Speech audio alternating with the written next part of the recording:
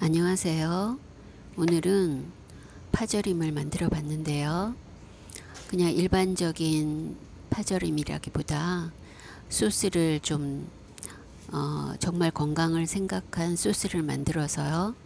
언제든지 가정의 밥상에 올려서 건강과 맛을 동시에 잡을 수 있는 그러한 방법의 파절임을 어, 만들어 봤어요. 그 방법을 알려드릴게요. 대파는 파절임이니까 좀 써는 방법이 조금 달라야 되더라고요. 그래서 사실 이 방법은 저는 다른 유튜버 분들이 하시는 거 보고 배웠어요.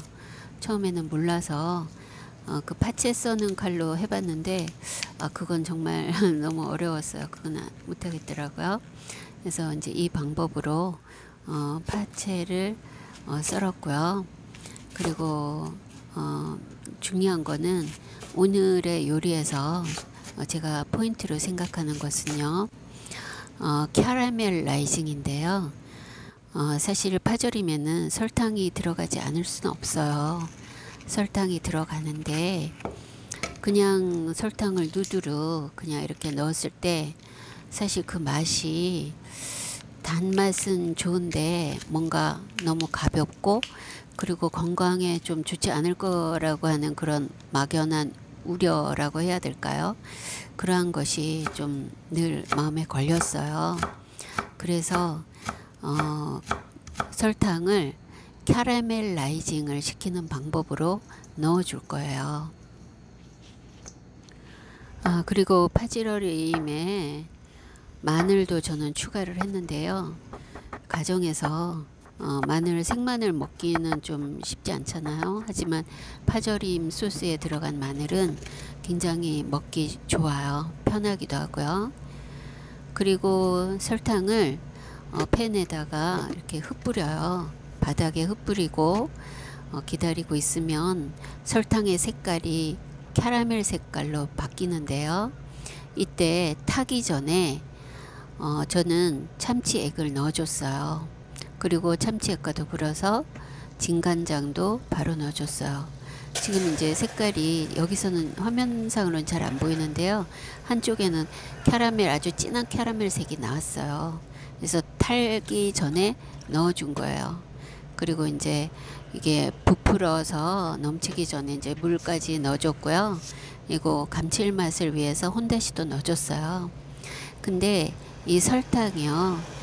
캐러멜 라이징이 되면요. 그때 굉장히 풍부한 맛의 풍미가 생겨요. 섭씨 176도, 화씨는 350도인데요. 그때 타거든요. 그 전에, 그러니까 섭씨 160도 정도 때 캐러멜 라이징이 돼요.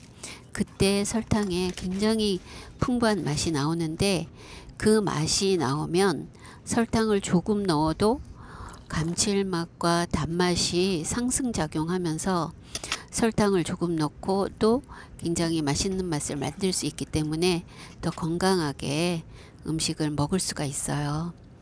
그래서 어, 좀 저장해서 먹으려고 어, 그릇에 담았고요.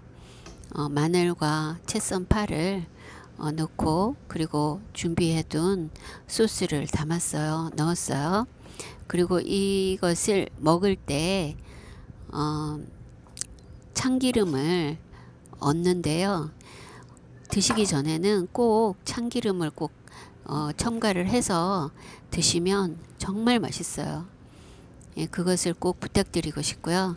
참기름 첨가하고 통깨 첨가해서 어, 드시면 정말 맛있고요.